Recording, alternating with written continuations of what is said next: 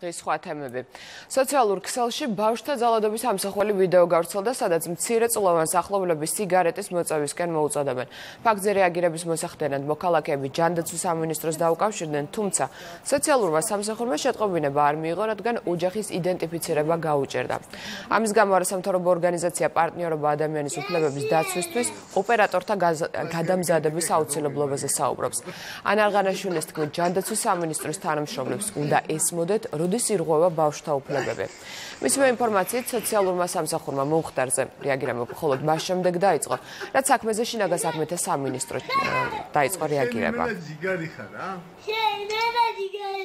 შენ ხარ იმენა ჯიგარი ტიპი. ჯანდაცვის სამინისტროს ცხელი ხაზის რეაგირება იყო არაადეკვატური. ისინი ვერ იღებდნენ ამ შეტყობინებას, რადგან ვერ არკვევდნენ თუ სად იყო ჩაწერილი ეს ვიდეო. ახლა უკვე ჩაერთო შინაგან საქმეთა სამინისტროს და პირადად ჩვენი ორგანიზაციის შეტყობინებით ჯანდაცვის ცხელმახაზმაც მიიღო ეს ინფორმაცია. გვაქვს იმედი, რომ რეაგირება მოხდება. ჩვენ რა თქმა უნდა მოვითხოვთ აუცილებლად ცხელი ხაზის მუშაობის ხარისხის გაუმჯობესებას უახლოეს პერიოდში.